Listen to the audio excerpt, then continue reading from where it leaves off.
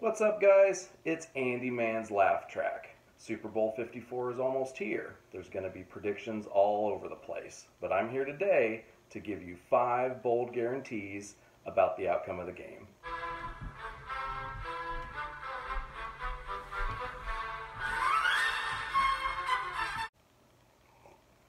Before we get into it, please hit that subscribe button, ding the bell to be notified of all my great video content. Let's get into the list. Number 5. Garoppolo will throw for more than 200 yards. Jimmy Garoppolo may have had an underwhelming stat line against Green Bay, especially considering that running back Raheem Mostert had 220 yards.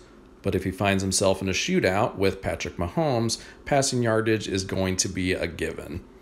Garoppolo being a game manager may be one of the keys to victory, but you've got to think that on the game's biggest stage, he's going to want to turn into a gunslinger.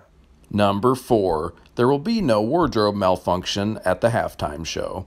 Who could forget Janet Jackson's infamous wardrobe slip back in 2004, on live TV no less?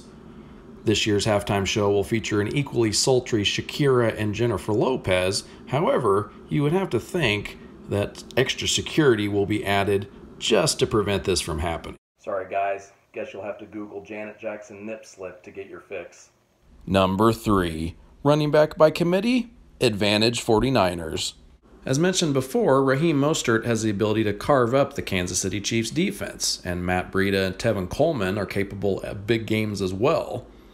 Not so much on the Kansas City side, where the Williams Williams McCoy trio is not up to par. They're just more proven in the backfield. What can I say? Plus, I don't think LeSean McCoy played last week. More research might be needed. Number 2. Defense and ball control will lead the 49ers to victory 35 to 20. This year's game will certainly be more high scoring by default. Last year was really just a fluke. But when it boils down to the vaunted 49ers defense, led by Nick Bosa, you're going to see a lot of three and outs, a lot of hurried throws from Patrick Mahomes. The 49ers will have the advantage on time of possession. Now, I'm from the Midwest, and of course, my Vikings aren't in it, so I kind of do want the Chiefs to win. I just don't think they will. Vegas has them by one and a half points, but it's not even going to be close, I'm sorry to say. Number one, no matter the outcome of the game, you'll always remember the snacks and commercials. Super Bowl snacks are the best wings, subs, pigs in a blanket, you name it. I hope you enjoyed these five bold guarantees. Please let me know in the comments below uh, if you agree, disagree, uh, how many people did I get riled up over this. Uh, we'll see after Super Bowl Sunday how many of these came true. How does that feel? Feels great, baby.